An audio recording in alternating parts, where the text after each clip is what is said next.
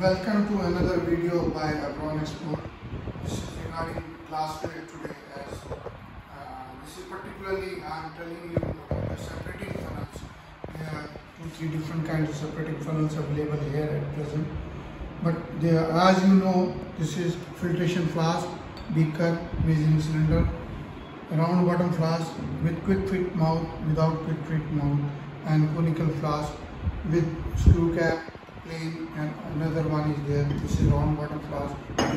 Now let's talk about the separating funnel. They are these are separating funnel with a stopcock.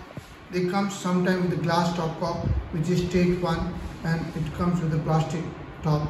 It has a surface which is not grounded. Another, this is uh, available with the 50 ml 100 ml, 125 ml, 500 ml, 2000, any sizes are there. Another is a is another Teflon stopcock. This is Teflon stopcock. It has a hole. You can see the hole is there. The solution will come if the hole is straight from here to the this side. In this Teflon, is oblique, and when you open this, the surface water or chemical goes from here to the bottom, and then it flows out. But in this case, it, when you make it straight, it uh, flows and when you make it this way, it stops. These are called conical or globular or pear shape. And this one has a, you can see the top has a, uh, the top has a grounded grounded uh, stop cock and you can uh, it easily seals it. Another one is a cylindrical. Cylindrical Mm, separating funnel or funnel separating cylindrical. It does not have a mouth.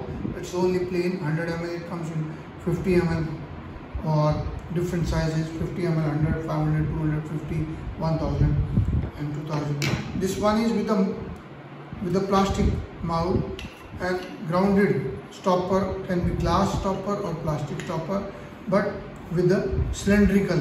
Its shape is cylindrical like a cylinder and this is also called if you can measure put the chemical bigger one 500 ml the same shape.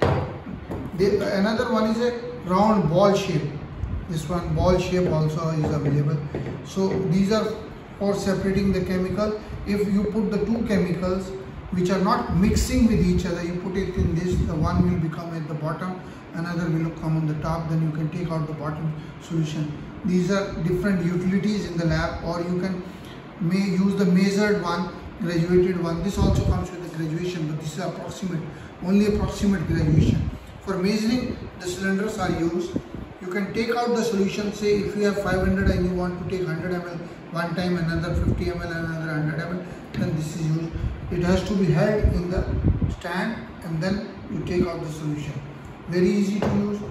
Now you can see other videos and subscribe to our channel and see the different products and this is abron01 at email.